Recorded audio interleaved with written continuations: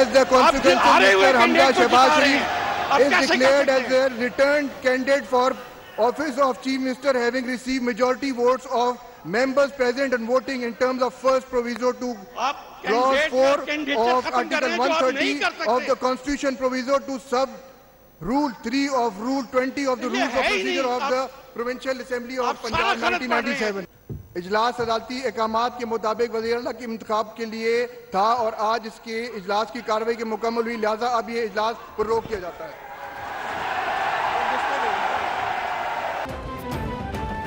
PTI और काफ league को सरप्राइज़, हमजा शहबाज एक बार फिर वज़ीर अला पंजाब मुंतखब। डेप्टी स्पीकर ने चौधरी शुजात के खत की बुनियाद पर मुस्लिम लीग काफ के दस वोट मुस्तरद कर दिए। चौधरी शुजात के पैगाम ने तहरीक इंसाफ की जीत नाकामी में बदल दी। मुफाहमत के बादशाह आसिफ जरदारी ने पंजाब की सियासत का रुख मोड़ा। मुनिस इलाही ने एतराफ़ कर लिया, बोले, मैं हार गया, इमरान भी हार गए, जरदारी जीत गए।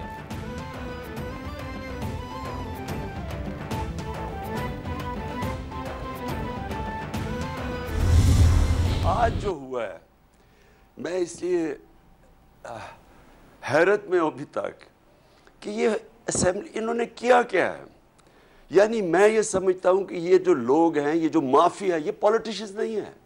ये कितनी हकारत से पब्लिक को देखते हैं। मैं नौजवानों को ख़ास तौर पे कह रहा हूँ कि आप सबको आज रात अपना रजिस्ट एहतजाज रजिस्टर करना चाहिए।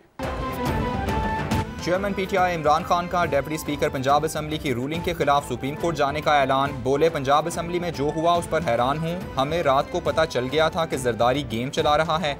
डेप्टी स्पीकर को शर्म नहीं आती। ये लोग माफिया हैं, सियासतदान नहीं। अफसोस मीशत का पहले ही बुरा हाल है। क्या लोग इस फैसले को मान जाएँगे? सुप्रीम कोर्ट के फैसले में पार्टी हेड का नाम नहीं लिखा हुआ।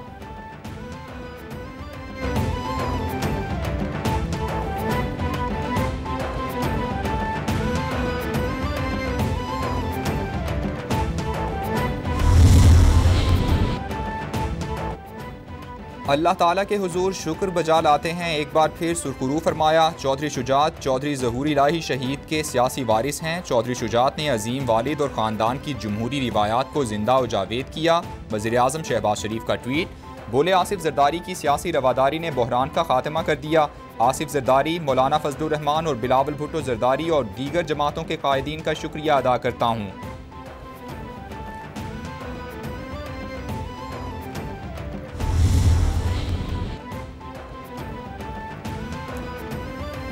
इमरान खान ने इकतदार के लिए चौधरी खानदान में फूट डलवाई। इमरान खान जहाँ जाते हैं, नहूसत फैलाते हैं। चौधरी शुजात ने दबाव के बावजूद उसूली फैसला किया। मरियम नवाज़ का ट्वीट, बोली, चौधरी शुजात जैसे जीरक सियासतदान का फैसला, उनकी जमहूरी सोच की दलील है। ये जंग है अवाम के हकीकी मैंडेट की। ये जंग है फसादियों, फाशिस्टों, आमिराना सोच रखने वालों के खिलाफ।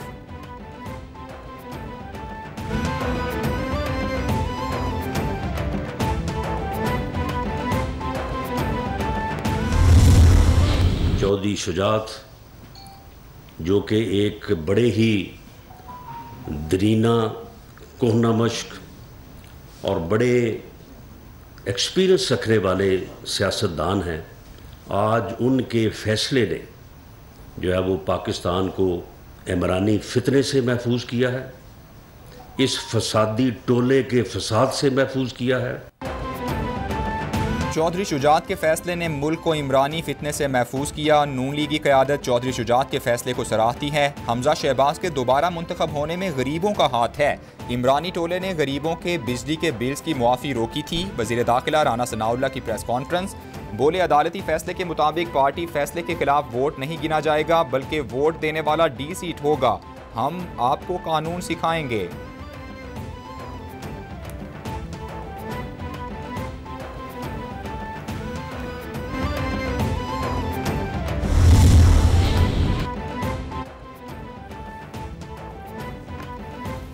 विफाकी वज़ीर शाजिया मरी कहती हैं, आसिफ जरदारी ने हमेशा सियासत में रवादारी को तरजीह दी। आसिफ जरदारी और चौधरी शुजात ने आज रवादारी की सियासत को मज़बूत किया है।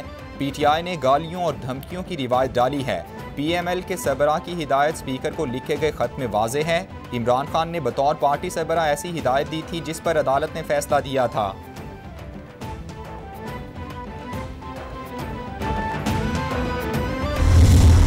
इमरान खान साहब की गलत फैसलों की वजह से इस हुकूमत को बर्दाश्त करने पड़ रहे हैं। लेकिन एक चीज़ बड़ी वाजह है कि अगर अभी एक साल हुकूमत ने पड़ा है, और अगर एक साल में चीज़ें बेहतर कर ली गई और पेट्रोल और महँगाई को कंट्रोल कर लिया गया तो फिर जनरल इलेक्शन में ट्रेंड भी जरा मुख्तलिफ़ होता है तो उस वक्त तक हालात मुख्तलिफ़ हो सकते हैं। पंजाब के ज़िमनी इलेक्शन में अपसेट की वजह महँगाई है। इमरान खान के गलत फैसलों की वजह से इस हुकूमत को बहुत कुछ बर्दाश्त करना पड़ रहा है। कौमी असम्बली में अपोजिशन लीडर राजा रियाज की कैपिटल टीवी से खसूसी गुफ्तु बोले, एक साल में अगर हुकूमत हालात कंट्रोल कर गई तो आम इंतबात में हालात तब्दील हो सकते हैं।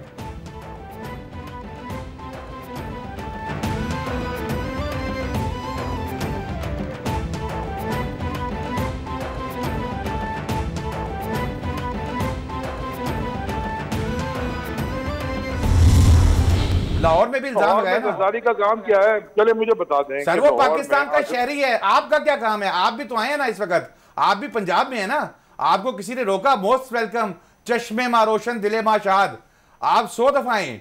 जरदारी साहब को कोई कैसे रोक सकता है? तो आपसे अली अमीन गंडापुर पाकिस्तान का शहरी नहीं है। उसको क्यों रोका? पाकिस्तान के सूबे पंजाब में गलत किया।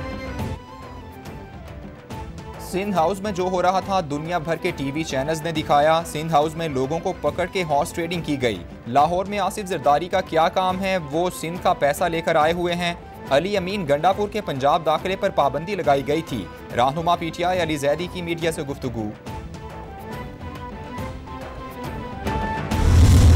डायलॉग ही इनका बड़ा अजीब हो गया है। और बहुत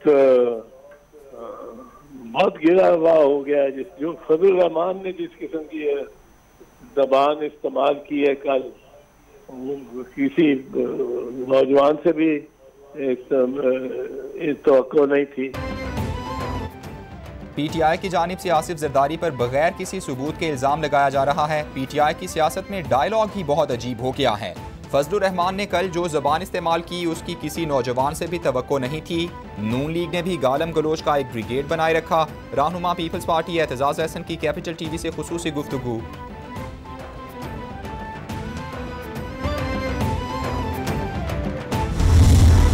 वो वोट नहीं देंगे। जो चौधरी शुजात साहब और वो अपना तारिक चीमा ने ये नहीं कहा कि हमला को वोट दो। हम्म। उन्होंने कहा है कि इसको वोट नहीं देंगे।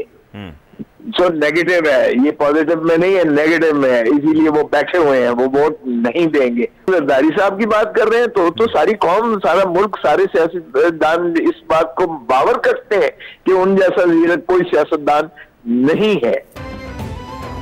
चौधरी बरदरान ने अपनी साख और सियासत दोनों ख़राब कर ली। कहा जाता था कि चौधरी बरदरान बहुत वज़ादार सियासतदान हैं, जो गलत साबित हुआ। काफ लीग के बगैर पी टी आई के पास तादाद पूरी नहीं, लतीफ़ खोसा की कैपिटल टी वी से खसूस गुफ्तु बोले पी टी आई हुकूमत में उनके इतिहादी उनसे अलग हुए। इसका ये मतलब नहीं कि उनका मैंडेट चोरी हुआ। कोई गलत नहीं कहता कि एक जरदारी सब पे भारी।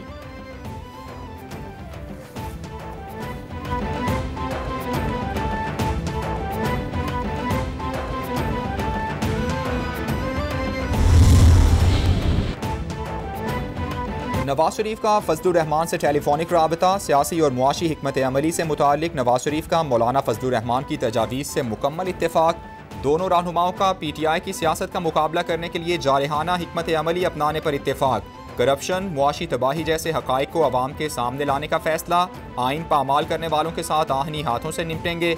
महँगाई को कम करने के लिए तेल और बिजली सस्ती करने पर इतफाक़ हुआ।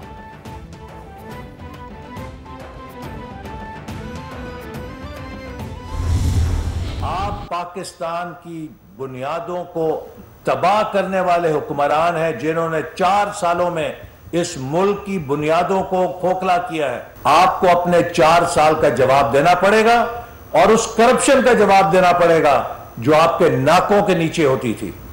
आप पंजाब के अंदर फिर वही करप्शन का नेटवर्क चालू करना चाहते हैं।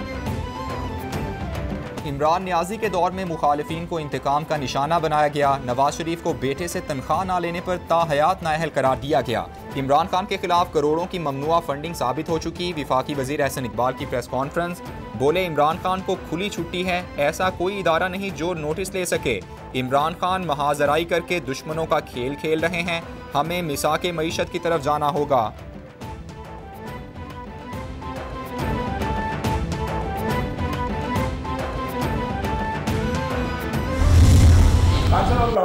पाँच दिन क्याम करें। मैं तो कहता हूँ सात दिन ही क्याम कर लें।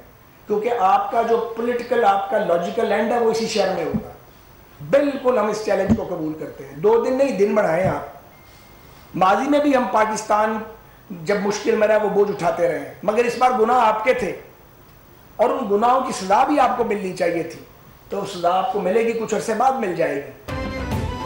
वज़ीर बरा रेलवे ख्वाजा साद रफ़ी कहते हैं, इमरान खान मुल्क के तमाम इदारों पर अपना कब्जा चाहते हैं। 2018 के इंतबात के बाद हर इलेक्शन में इमरान खान ने हॉर्स ट्रेडिंग की।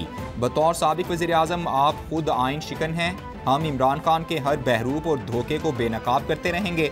इलेक्शन कमीशन बताए कि फॉरेन फंडिंग केस का फैसला सुनाने में कितनी ताखीर है। इमरान खान मुल्क को श्रीलंका बनाना चाहते हैं।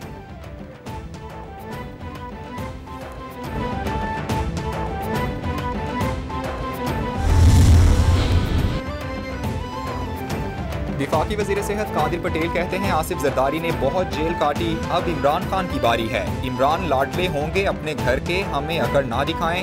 जियालों ने इनकी सिर्फ़ गर्दन मरोड़ी तो चीखें निकल जाएँगी। पंजाब असम्बली में पीटीआई में इमरान सवाल करते हैं कि इन्हें कितने में फ़रोग किया? तुम ऐवान में मुकाबला नहीं कर पाए, मैदान में क्या मुकाबला करोगे?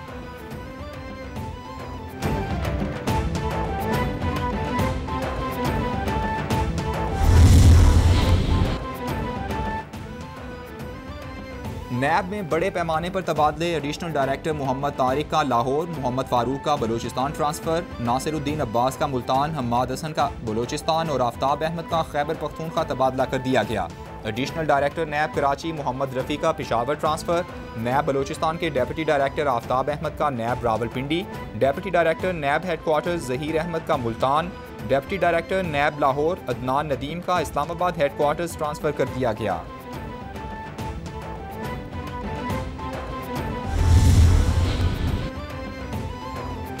चेयरमैन नैब की जेर सदारत एग्जीक्यूटिव बोर्ड का अजलास मुख्तलिफ़ इंक्वायरीज और इन्वेस्टिगेशन पर तफसीली बहस नैब एलामिया के मुताबिक हर केस बारे मेरिट शफाफियत और दायरा कानून में रहते हुए फैसले किए गए इजलास में केसेस की मजीद मुतल कानूनी कार्रवाई का फैसला किया गया नैब की इंक्वायरीज इन्वेस्टिगेशन मुबैना इल्ज़ाम की बुनियाद पर शुरू होती हैं जो हतम नहीं होते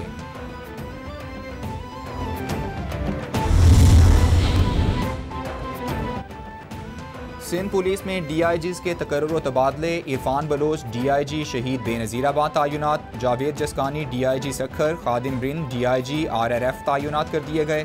Tariq Abbas Qureshi D I G investigation crime branch तयनत कर दिए गए। नोटिफिकेशन जारी।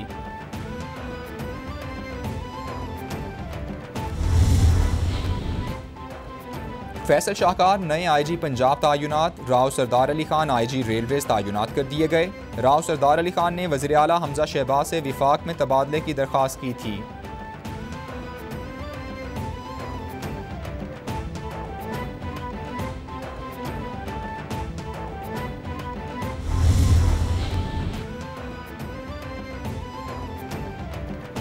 वजी अला सिंध का वर्ल्ड बैंक के कंट्री डायरेक्टर के साथ वीडियो लिंक इजलास, property tax collection, local council को देने का फैसला।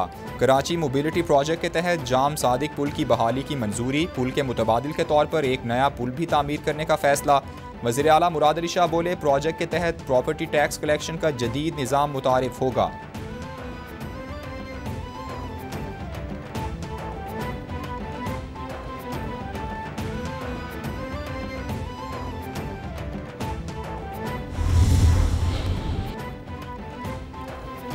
वजी अला सिंध सैयद मुराद शाह से शिया कराम की मुलाकात मुहर्रम हराम में सिक्योरिटी और दीगर इंतज़ाम के हवाले से तबादला ख्याल। मुराद शाह बोले, मुहर्रम की सिक्योरिटी के इंतज़ाम किए गए हैं। पुलिस ने सिक्योरिटी के जो इंतज़ाम किए हैं, उन पर उलमा को अतमाद में लिया गया। उलमा का शुक्रगुजार हूँ कि फ़िरका वराना हम आहंगी को बढ़ाया है।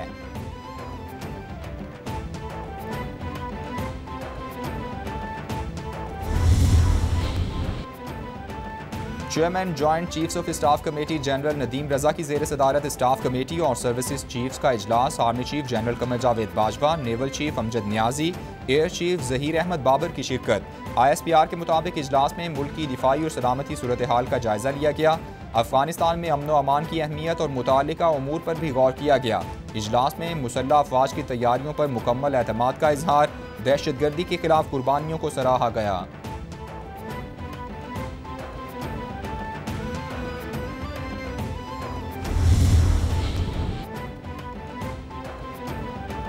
और पाकिस्तानी खवतान भी किसी से कम नहीं, एक ही दिन में दो पाकिस्तानी खवतान ने केटू सर करके तारीख रकम कर दी।